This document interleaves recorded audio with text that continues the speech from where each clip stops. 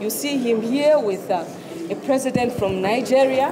Chilala Mutumba from the Lusaka National Nigeria, Museum walked through Vice President Mutale. Nalumango in the picture exhibition of Zambia's founding president, Kenneth Kaunda, who died in June last year. You look at attributes of love, you look at attributes of peace. You describe him as a liberator, you describe him as a unifier. In all those elements, you see them through the leadership. And this is what we're trying to show in this exhibition. This exhibition detailing Dr. Kaunda's early life, fight for independence, his presidency, and post presidency is being held as part of the inaugural KK Day, now a public holiday.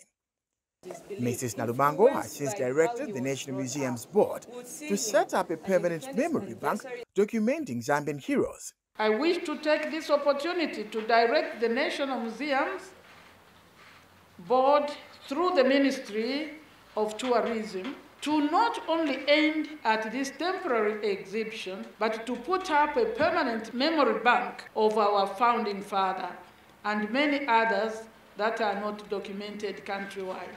She also called on Zambian leaders to emulate Dr. Kaunda's leadership, which led to his global influence.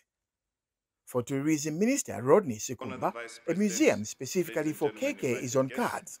We will continue to engage the Kaunda family on the possibility of creating a Kenneth Kaunda Memorial Museum.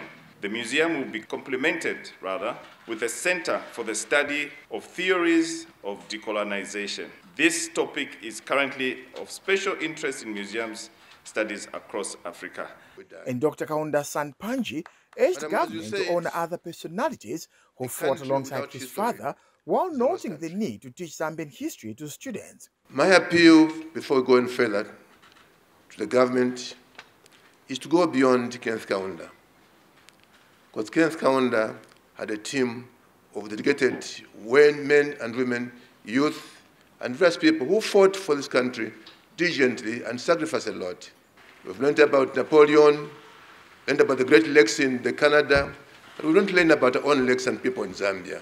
Kaunda Day falls on April 28th in honor of the day KK was born in 1924.